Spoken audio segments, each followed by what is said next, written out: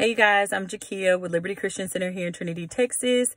Um, and I just wanted to share a quick message with you guys. So I have been reading this um, devotional called Mom Up by Kara-Kae James, and it's on that Holy Bible app. And um, the reason why I chose this devotional was because I have really been on the struggle bus with um, parenting during this quarantine. Um, I'm like a recent single parent, but um, I'm shouting out all the single parents because I don't feel like I'm actually a single parent because their dad is super involved.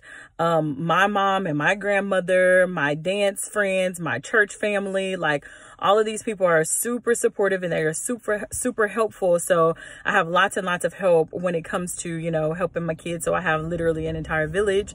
Um, but whenever we're on our own, I have just been struggling to keep, you know, everything structured and keep discipline in their lives. And it's been really, really hard for me.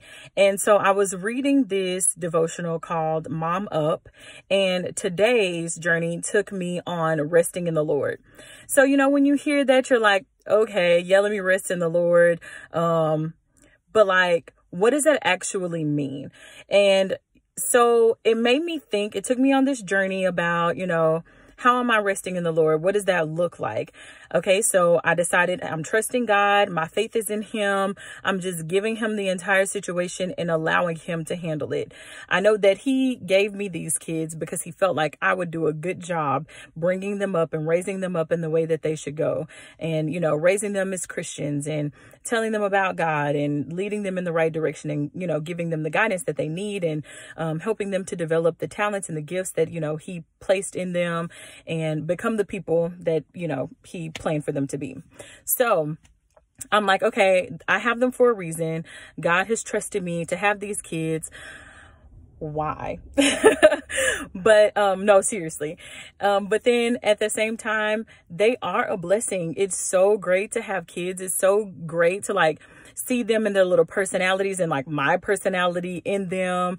And it's really really cool. It's a really cool experience. But like it does get overwhelming. If you're a parent, you know that. So um, I just wanted to hop on and just you know, talk to you for a few minutes. Like, if you're feeling that way, it is okay. You're not a bad parent because you feel like, oh my gosh, what am I going to do with these kids? What am I doing? I have no idea what I'm doing because God gave them to you for a purpose right? And you're going to do the right thing.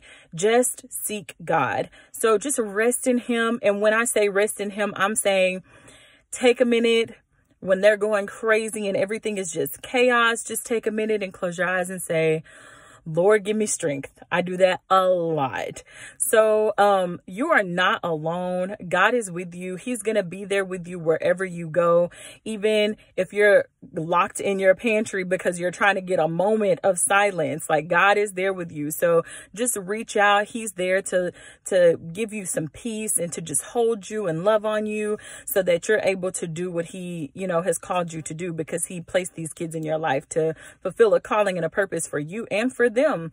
So um, you are not a bad parent just because you get overwhelmed. We all do. I just want you to seek God whenever you are in that place because he is peace, right? He is love. He is going to be there for you. He um, is wanting to love on you. He's wanting you to reach out to him and, you know, just share your heart with him. He he's there to listen. Nothing is too small. So um, take a minute and just say, God, I'm here.